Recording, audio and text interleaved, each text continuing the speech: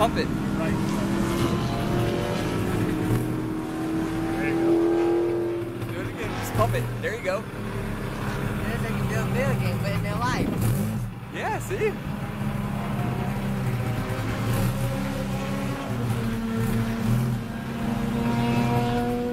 There you go. Nice job.